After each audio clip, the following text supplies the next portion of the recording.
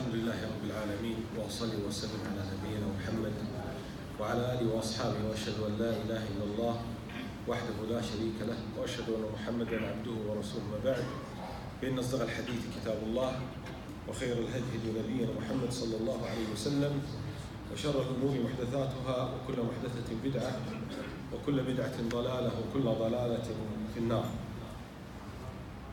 بحمد الله سبحانه وتعالى وفضل من الله وصلنا إلى تفسير سورة يوسف. بدأنا تقريبا من ست سنوات سورة البقرة.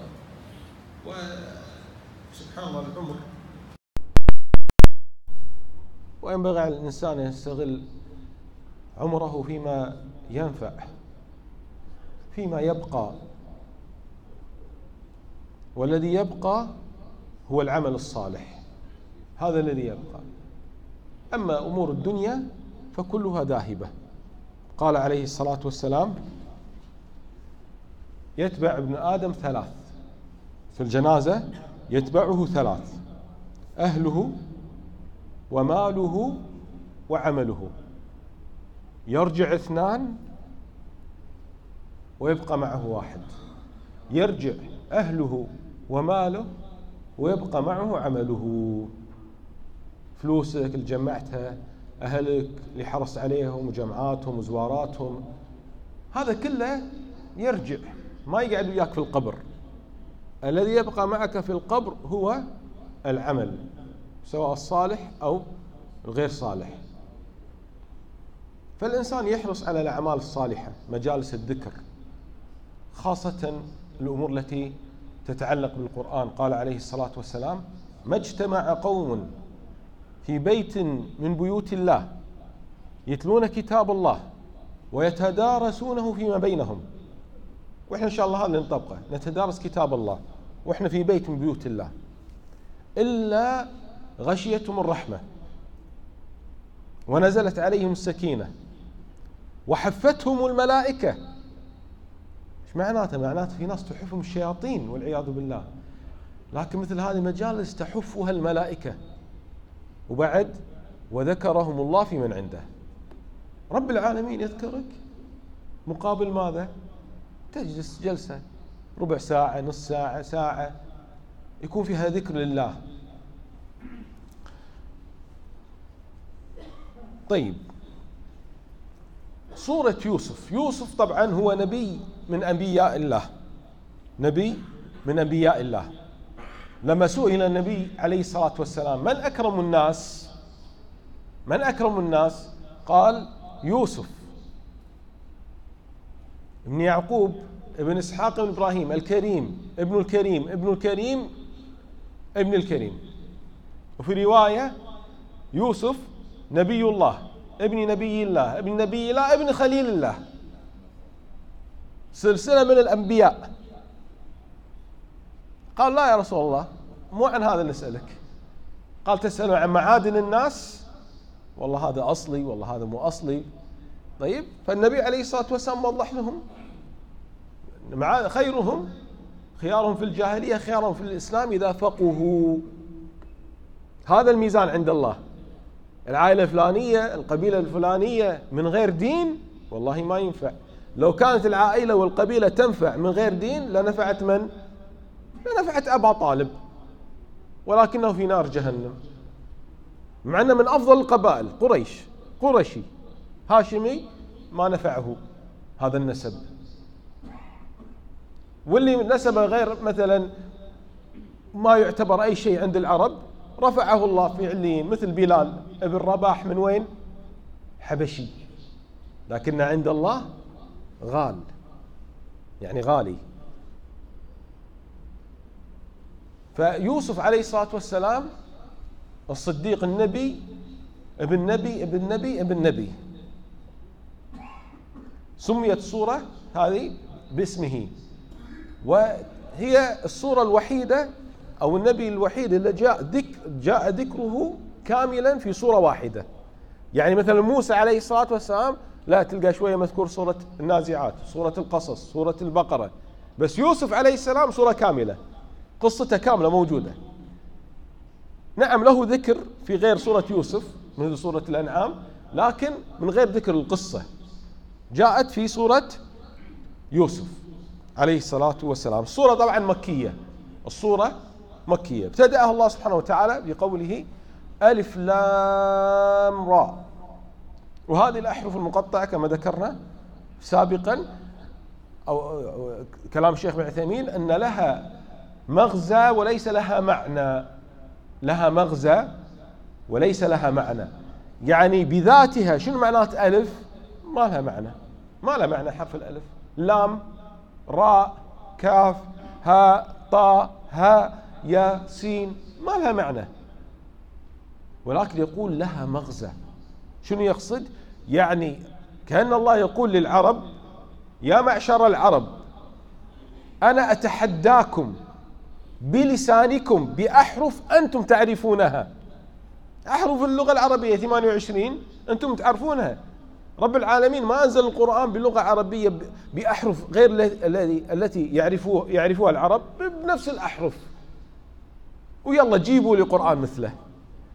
جيبوا لي بصورة من القرآن. ولو اجتمعوا الإنس والجن ما فعلوا ما فعلوا ولن يفعلوا. تلك آيات الكتاب المبين. وهذا العادة أن لما رب العالمين يذكر الأحرف المقطعة يذكر بعدها القرآن أو شيء له علاقة بالقرآن. فهذا يعزز القول أن هذه الأحرف تحدي للعرب. تلك طبعا تلك هذا شيء إشارة لشيء بعيد. وهنا المقصود شيء مرتفع من السمو. تلك آيات الكتاب المبين. القرآن. آياته مبينة وبينة وليست غامضة. هو مو كتاب فيزياء. تعال هذا شنو معناته؟ القانون ولا كيمياء؟ شو المقصود بالحرف هذا؟ الرقم هني؟ ما تدري. بعض مرات يصير طلاسم. تحتاج مدرس تحتاج دكتور يشرح لك. أما القرآن فهو مبين لصاحب اللغة العربية. وبين. ما يحتاج إلى سحرة ولا كهنة ولا شعراء يشرحونه. بين آياته واضحة. تلك آيات الكتاب المبين. إنا أنزلناه قرآنا عربيا لعلكم تعقلون. إذا هذه الآية من أدلة على علو الله. القرآن من وين؟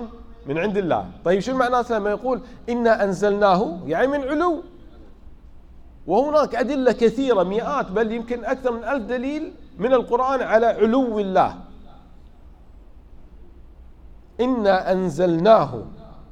في أي ليلة؟ إنا أنزلناه في ليلة القدر. في ليلة مباركة. ذكر النبي عليه الصلاة والسلام إن الله أنزل صحف إبراهيم في الليلة الأولى من رمضان. والتوراة في الليلة السادسة. والإنجيل في الليلة 13 والقرآن في الليلة 24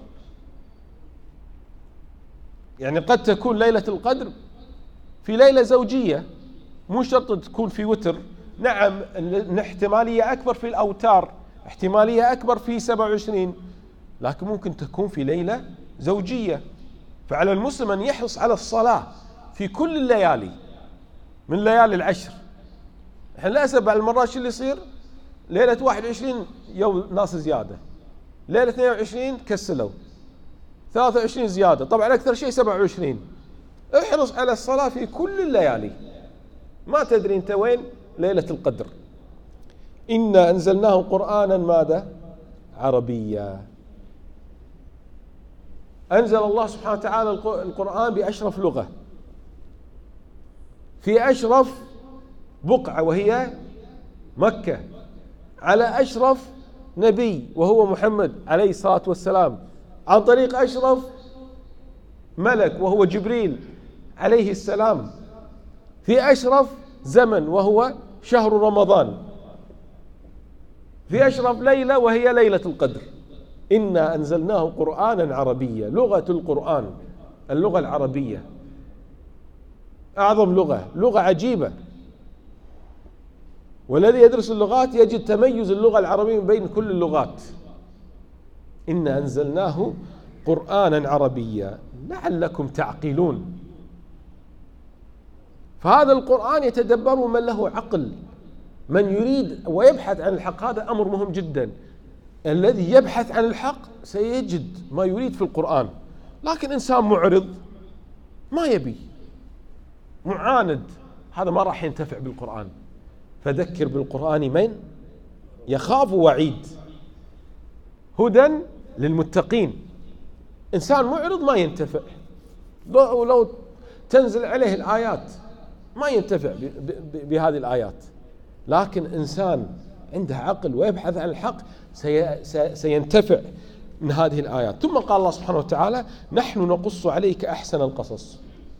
ورد سبب نزول أن أنزل الله سبحانه وتعالى القرآن الآية الآية بعد الآية. ثم قال بعض الصحابة يا رسول الله لو قصصت علينا فأنزل الله نحن نقص عليك أحسن القصص.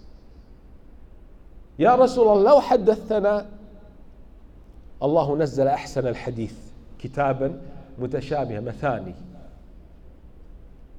فهذا سبب نزول في آه، آه، هذه الآيات. نحن نقص عليك أحسن القصص. قصة عظيمة. شلون؟ فيها أحداث يوسف عليه الصلاة والسلام مع إخوته وأبوه. يوسف مع في قصر الملك قصر العزيز مع زوجته مع النسوة. تفسير الحلم. يعني أشياء وأحداث عجيبة. فيها عبر لمن يتفكر ويقرأ ويستفيد من هذا القرآن. نحن نقص عليك أحسن القصص. قصص القرآن أحسن القصص. أسف يأتي وقت معرض الكتاب تشوف الناس تنهد على روايات. عجيب والله شنو فيها روايات؟ من الكاتب ما تعرفه. شنو الكاتب؟ ما تدري شو اللي كاتبه. ولا ما في أي فائدة لا في دين ولا دنيا. بس يبون الكتاب يوقع يوقع عليه الكاتب. وأعرض كثير من الناس عن كتاب الله اللي فيه القصص. الحق القصص الحق فيها فوائد وعبر وأجر لما تقرأها. يجب علينا كمسلمين نقبل على كتاب الله نقرأ القصص القرآني. نحن نقص عليك أحسن القصص. بما أوحينا إليك هذا القرآن وإن كنت من قبله لمن الغافلين. ما كان يعني النبي عليه الصلاة والسلام يعني غفلة إنه ما ما يعلم هذا الأمر من غير وحي. النبي عليه الصلاة والسلام ما يعلم الغيب. فكان غافلا عن هذه القصة قبل أن ينزل الله سبحانه وتعالى عليه القرآن. فلما أنزل الله عليه القرآن صار عنده علم النبي عليه الصلاة والسلام. ثم قال الله سبحانه وتعالى يبتدأ القصة. إذ قال يوسف لأبيه يا أبت إني رأيت أحد عشر كوكبا والشمس والقمر رأيتهم لي ساجدين.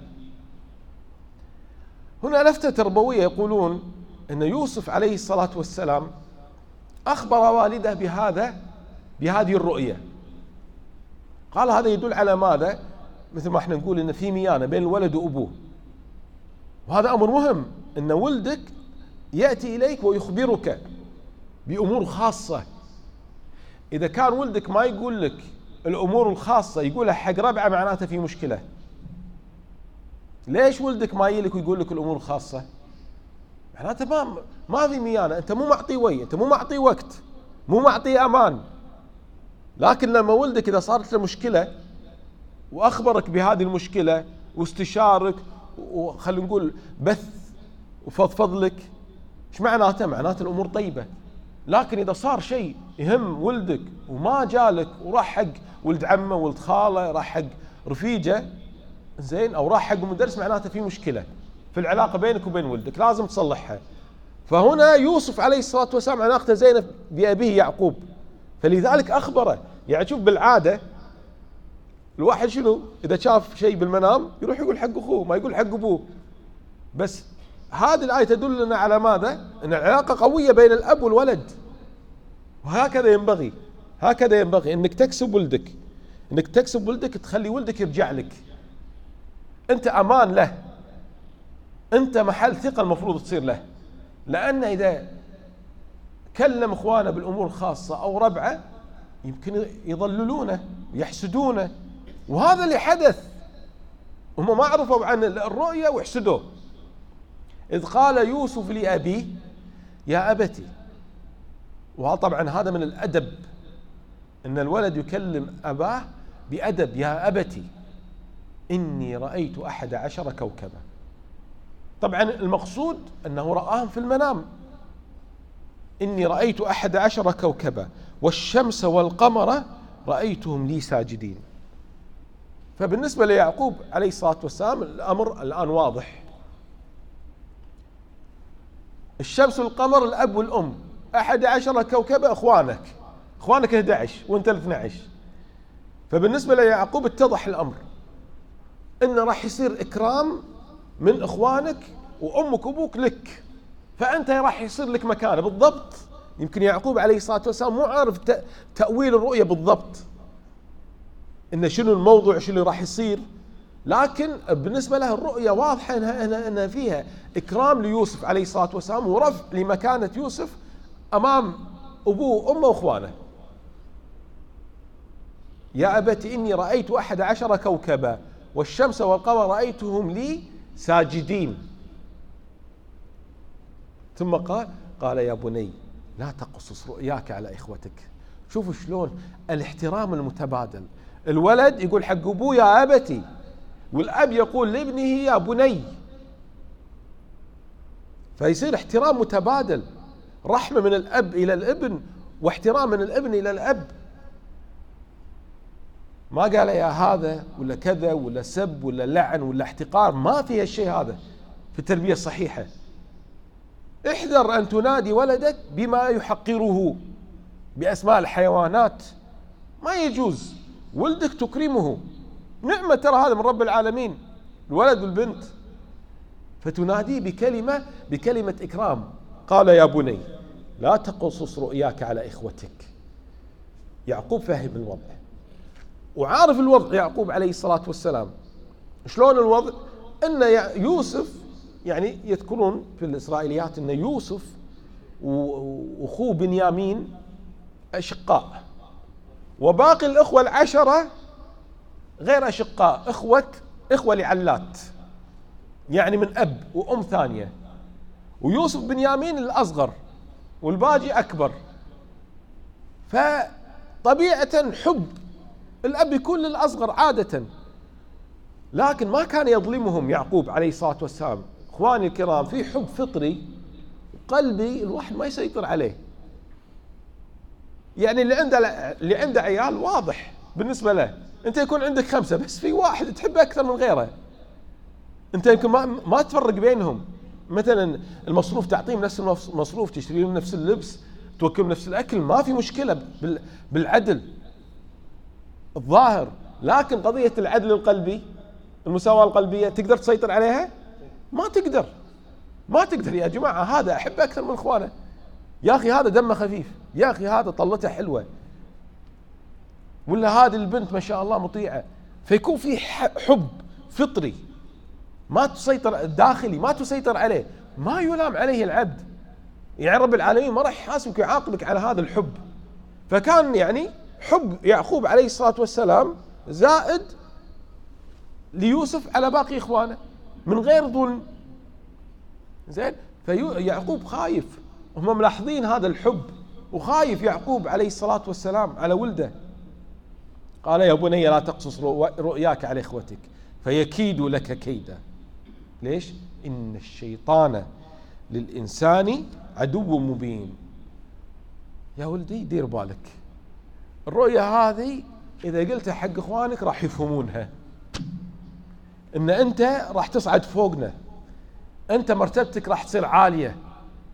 فيكيدوا لك كيدا يسووا لك خطة. يدبرون شيء ضدك.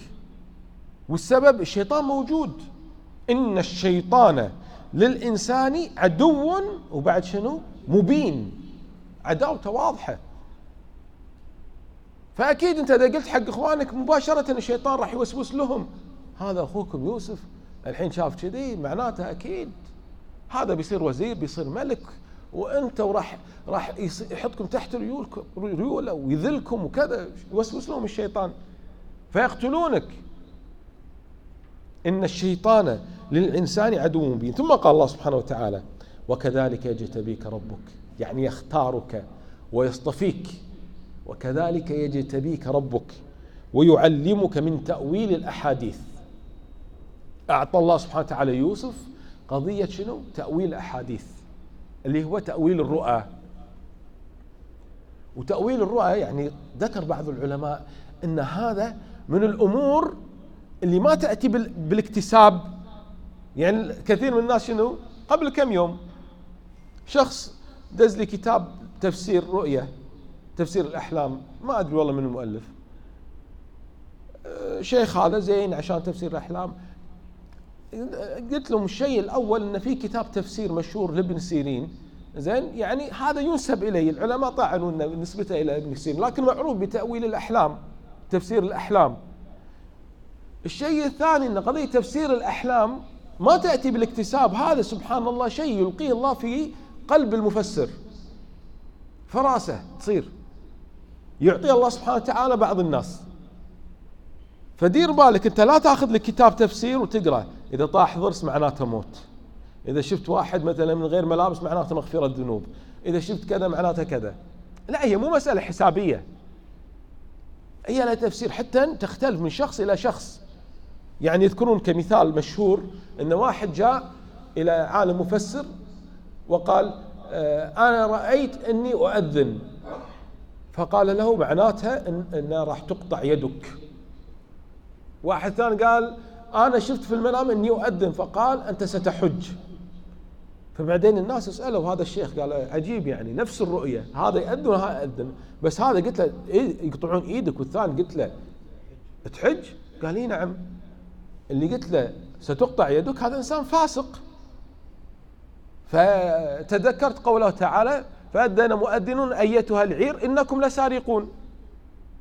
أما الإنسان الثاني صالح فتذكرت قوله سبحانه وتعالى وأذن في الناس بالحج يأتوك رجالا وعلى كل ضامن يأتي من كل فج عميق. فشوفوا شلون نظرة العالم في التفسير. هذا الإنسان يكون عنده يعني نظرة بعيدة. ليس لكل أحد أن يفتح كتاب تفسير يحفظ له كلمتين ويفسر للناس.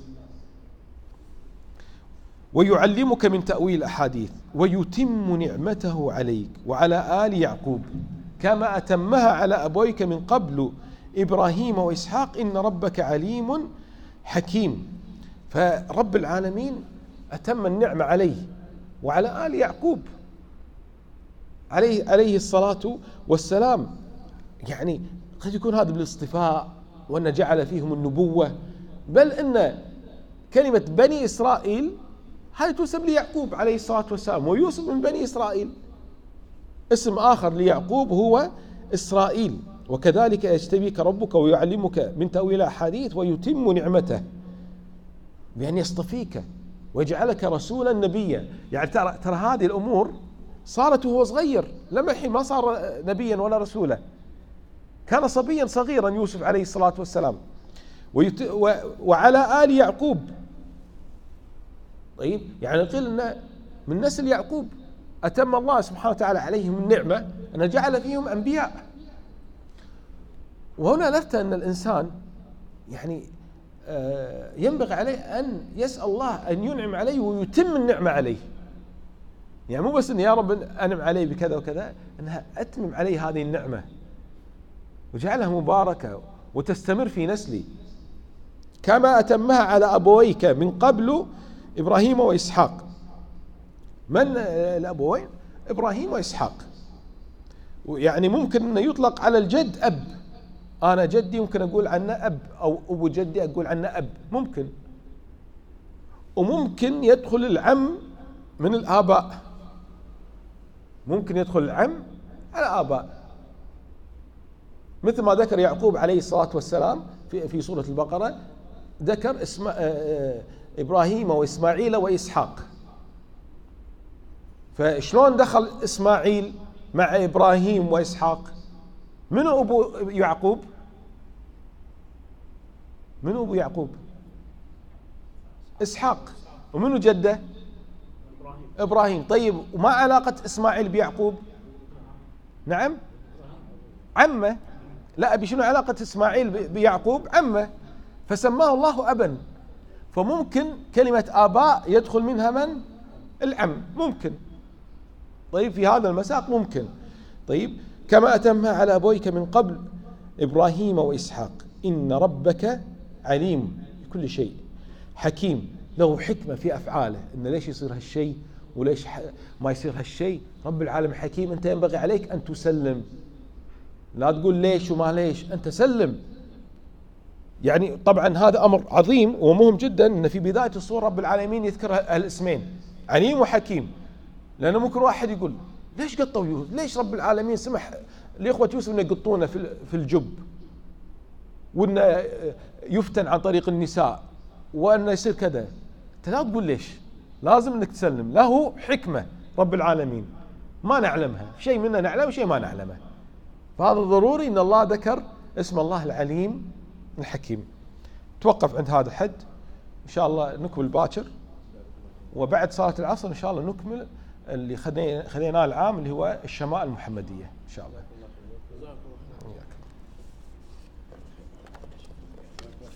إياك.